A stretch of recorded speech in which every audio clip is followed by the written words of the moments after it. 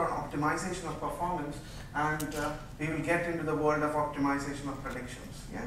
Now when we move across to optimization of predictions, we need systems which uh, can work across the finance and the operational business functions in the, uh, in the organization. Now once we have this uh, integrated across the sales and operations plans, uh, we can build predictive engines on top of it, which has been the practical experience from most of the customer projects and uh, it's, it's more of a wave uh, which is progressing further um, and which uh, you know we are present at this moment. You know we have to build integrated systems which supports our planning purposes um, and across to the future levels. Now the practical side again talks about you know uh, we have a number of items you know which is static within a budget system which is not online and capability of uh, moving across and looking at the transaction systems and hence the operational business data, which uh, some examples are here, you know. There are BOMs missing, routings, activities are not there. If you're doing a driver-based budget process, then many of these activities needs to be key in manually. The materials are not present. Uh, the overhead items, uh, you know, an example is CPF calculation in Singapore, you know, that's kept outside and if the CPF changes, then you again go to the Excels to start uh, uh, start using that activity.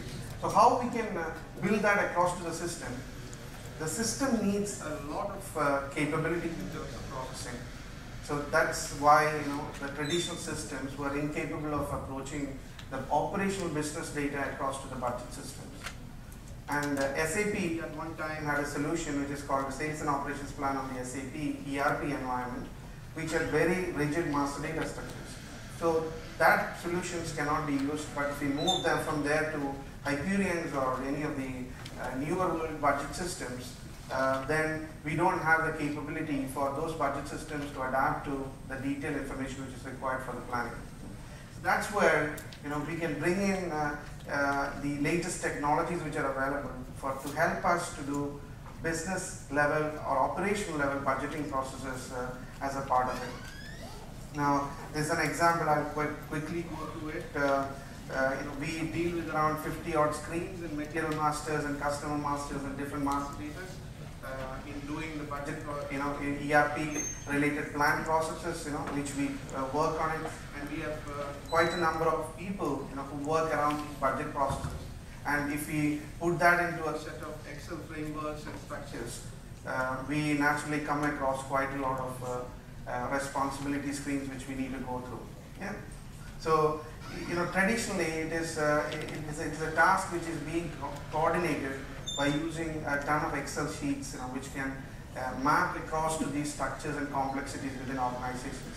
So, you know, how we can bring all these uh, structures together, uh, that defines, you know, why we need a system to take care of these activities.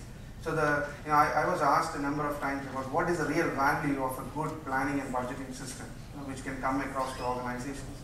The value is to take this through.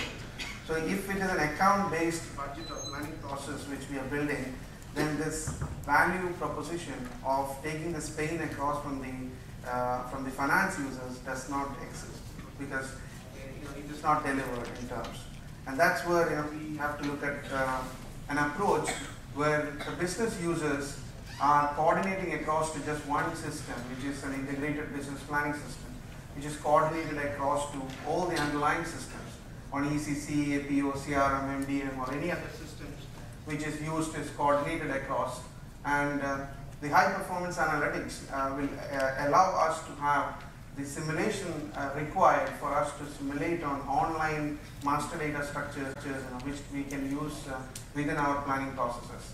So if there is a multi-level BOM, BOM structure, and if you're doing a costing, the only place we can do it today is in product costing module in SAP ECC environment. If we take the unit cost out of that ECC environment and we try to recost it, uh, recalculate our cost in a newer environment, then we will not be able to achieve the accuracy required for our labor pricing, activity pricing, material pricing, overhead pricing, etc., which we define in the different master data within the ERP environment. So can we do this? You know, if we can do this, then you know we take uh, uh, quite a lot of pain out of the existing processes in terms of costs. Now the similar situation exists in HR, manpower planning, sales planning, and other areas. Yeah, So in today's uh, discussion, um, actually we are uh, we have put in a quite solution around uh, the SAP technologies available, uh, which uses you know ECC. So if you are not an ECC company, you know just doesn't apply to you. So ECC, APO, CRM, BW, BPC, and uh, HANA technology, which is still on a proof of concept on a conceptual uh, stage right now. Uh, so here, you know, we have our products which is BOM, routes, labor, you know, the master data which exists on your ERP environment, which is kept at one place. And through activity driven, we can build the revenues, the cost of goods sold, the gross profits, and uh, EBITDAs, you know, uh, and we get our existing P&L to the detail levels. And uh, we have our COGS, which is our current estimates. We have extracted from the ECC environment. And uh, from there, we build uh, uh, our new products in our planning environment and we take this across to a simulation environment for the CFO uh, or the finance team where the cost and price equations and quantity equations are kept and at any point of time uh, we'll be able to do a simulation back across with our activity driven prices using uh, the high performance analytics thus bring back our PNL with the calculated cost. An example is if I have a multi-level BOM with a three-level BOM, and I uh, material which I am using is gold in that particular uh, uh, BOM.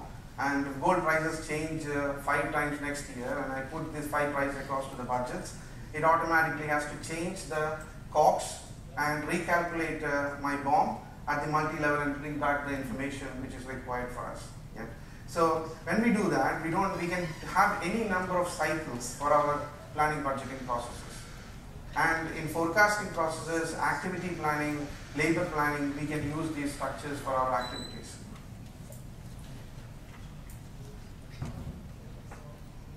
Now before we go in, I want to quickly show you, uh, you know, an example of, uh, uh, you know, which I have just taken up for this short presentation.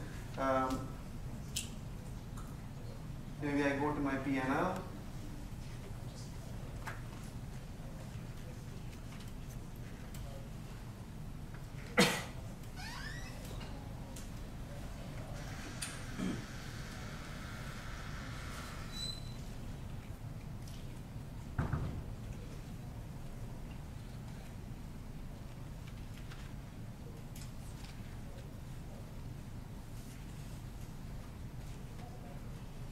So I'm taking out a, a, a PNL out here and uh, the PNL budget numbers are uh, structured across, uh, you can see the COGS line uh, for uh, Jan, the forward budgets which you see here.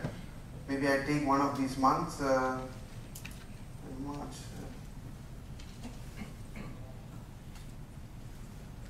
Maybe let me take November um, as the budget number so I can see around two 500 as the number here which is calculated for my COGS. Um,